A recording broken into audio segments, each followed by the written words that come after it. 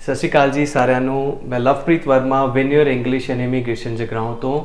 ਅੱਜ ਬਹੁਤ ਖੁਸ਼ਖਬਰੀ ਦੀ ਗੱਲ ਹੈ ਜੀ। ਅਜੇ ਵੀਰ ਸਿੰਘ, ਜਿਨ੍ਹਾਂ ਦੇ ਪਹਿਲਾਂ ਪੰਜ ਰਿਫਿਊਜ਼ਲ ਸੀਗੇ, ਉਹਨਾਂ ਦਾ ਓਪਨ ਸਪਾਊਸ ਵਰਕ ਪਰਮਿਟ ਆਇਆ ਹੈ ਤੇ ਅਸੀਂ ਸਮਝਦੇ ਹਾਂ ਕਿ ਪੇਰੈਂਟਸ ਦਾ ਰਿਵਿਊ ਬਹੁਤ ਇੰਪੋਰਟੈਂਟ ਹੁੰਦਾ ਹੈ।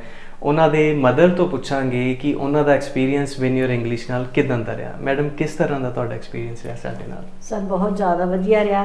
ਪਹਿਲਾਂ ਤਾਂ ਬਹੁਤ ਤੁਹਾਨੂੰ ਵੀ ਮੁਬਾਰਕਾਂ ਜਿਹਨੇ ਇੰਨੀ। ਮਿਹਨਤ ਕੀਤੀ ਇਸ ਕੰਮ ਲਈ। ਪਹਿਲਾਂ. ਡਾਕਟਰ ਇਨ ਲਾ ਦਾ ਵੀ ਵੀਜ਼ਾ ਇੱਥੋਂ ਹੀ ਲੱਗਿਆ।